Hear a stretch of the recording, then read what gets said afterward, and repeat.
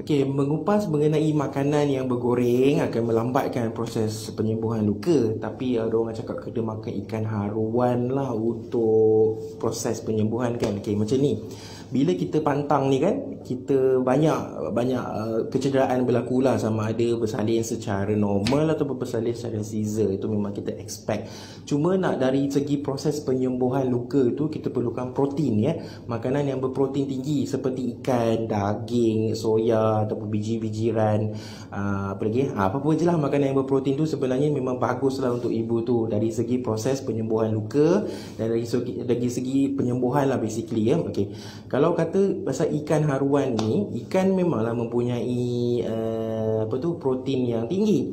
Tapi kita perlu tahu bahawa bukan ikan haruan je yang ada protein yang tinggi. Dia banyak lagi ikan-ikan lain yang boleh kita makan untuk mendapatkan sumber proteinnya.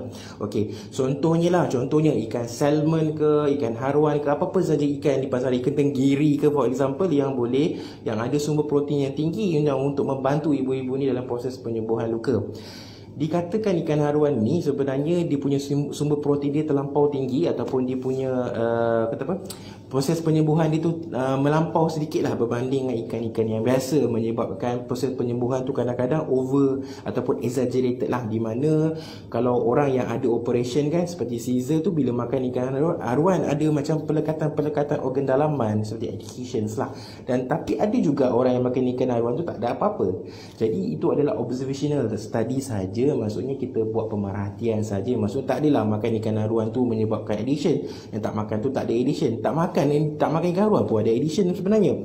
So kita tak adalah suggest ataupun kita offer kepada pesakit ah awak kena makan ikan haruan untuk penyembuhan tak. Sebab kita tak ada study yang mengatakan ikan haruan ni sebenarnya bagus untuk penyembuhan luka.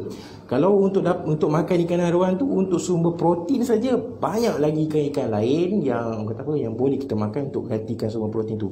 Okey jangan lupa telur. Telur pun ada sumber protein yang tinggi juga. Tapi orang-orang kata makan telur ni luka bernadang lah luka gatal lah luka merah dan sebagainya dah kau alergik kepada telur kenapalah nak ambil telur Orang yang ada alergi kepada telur tu tak payahlah ambil telur. Cuma orang yang tak ada alergi tu makanlah telur sebab telur tu sumber protein yang tinggi yang bagus untuk penyembuhan luka. Ya.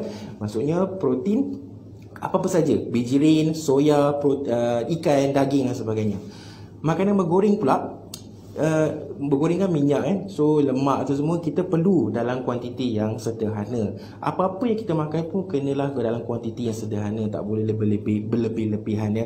Macam makanan yang bergoreng macam ikan ke tak ada masalah lah untuk makan tapi makan dalam kuantiti yang moderate. Maksudnya dalam kuantiti yang sederhana lah ya.